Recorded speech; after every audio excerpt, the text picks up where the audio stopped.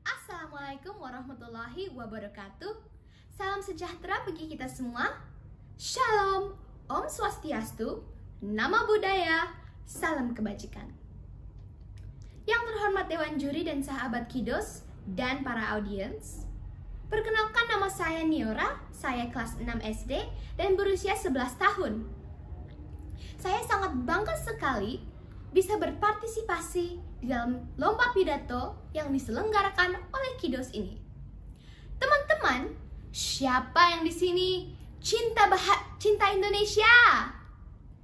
Siapa yang cinta bahasa Indonesia? Apakah ada yang di sini sehari-hari suka lupa berbahasa Indonesia? Jangan ya, karena kali ini Neora akan mengajak semuanya untuk cinta bahasa Indonesia. Teman-teman Kidos dan para audiens yang berbahagia, di Indonesia ini semakin menjamur sekolah-sekolah bilingual dan bahkan sekolah internasional. Dan ada banyak orang tua yang memilih untuk menyekolahkan anaknya di sekolah internasional. Dan kita tahu bahwa tek perkembangan teknologi membuat seolah tidak ada jarak antara kita di Indonesia dan negara-negara lain. Dan memang benar kita menggunakan bahasa internasional untuk berkomunikasi dengan teman-teman luar negeri, yaitu bahasa Inggris. Tapi ini bukan berarti kita boleh melupakan bahasa Indonesia. Dan meskipun kita di sekolah menggunakan bahasa Inggris, ini kita kan di Indonesia. Bahasa Indonesia adalah bahasa ibu yang seharusnya menjadi prioritas kita. Teman-teman Kidos dan para audiens, saya dibesarkan di luar negeri. Dan 11 tahun kehidupan saya, saya 10 tahunnya di luar negeri. Jadi kira-kira baru satu tahun saya di Indonesia belajar bahasa Indonesia dengan baik dan benar.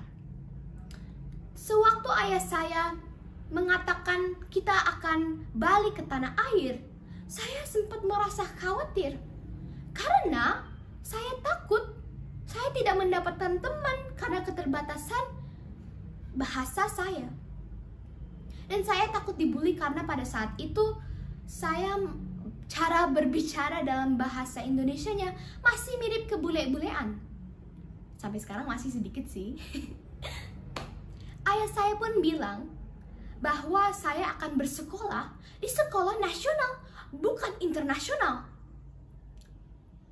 Tapi itu karena agar saya bisa belajar bahasa Indonesia dengan baik dan benar. Dan tapi Ternyata banyak kan teman-teman saya di sekolah menggunakan bahasa Inggris sehari-harinya. Apakah kamu salah satunya? Teman-teman Kidos dan para audiens, meskipun saya di luar negeri bertahun-tahun, ibu dan ayah saya selalu membiasakan di rumah menggunakan bahasa Indonesia. Kenapa? Kata ibu saya, bahasa Indonesia itu indah. Bahasa Indonesia tercipta karena pengorbanan dan perjuangan para pahlawan untuk memperjuangkan persatuan Indonesia. Penuh darah dan air mata hingga bahasa Indonesia itu ada.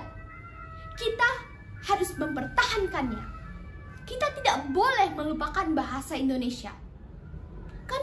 Siapa lagi selain kita, anak-anak Indonesia, yang mau mencintai bahasa kita sendiri? Walaupun saya pergi jauh, tidak akan hilang dari kalbu.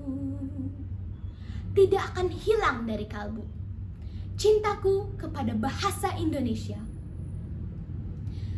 Teman-teman, sebelum kita bangga karena kemampuan kita bisa berbahasa asing, kita harus bangga berbahasa kita sendiri.